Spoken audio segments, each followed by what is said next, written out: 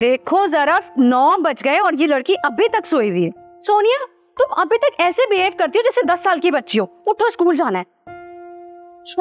ये सोने देना। अरे स्कूल के लिए लेट हो जाओगी। अभी भी सो रही हो। नौ बज गए। अम्मी मैं लेट नहीं होंगी। मुझे जाना ही नहीं है। है? क्यों नहीं जाना है भाई?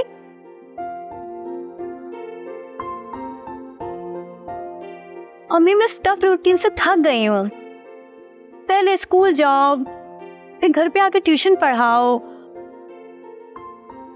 बच्चों के चेचे ने सर पका दिया है मेरा। ना शुक्री की बातें मत किया करो सोनिया।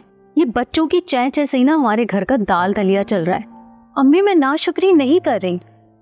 सारे महीने काम करो। चंद हज़ार ही आते हैं हाथ में। ठीक है तुम आराम कर लो। मैं सब कुछ खुद कर लूँगी। पहले भी तो मैं तुम्हें पाल रही थी ना? अभी भी मैं नौकरी करूँगी और तुम्हें पाल लूँगी मेरे लिए कुछ भी मुश्किल काम नहीं है। अरे अम्मी बैठे ना आप तो नाराज़ ही हो गई। मेरा मकसद आपका दिल दुखाना नहीं है। मैं तो बस एक दिन का आराम मांग रही हूँ। देखो सोनिया तुम इस महीने में चार छुट्टियाँ पहले ही कर चुकी हो। अब ऐसे ही तुम छुट्टियाँ करती रहोगी तो महीने के आखिर में कट कटा के हमारे हाथ में क्या आएगा? अच्छा भाई, जा रही हूँ।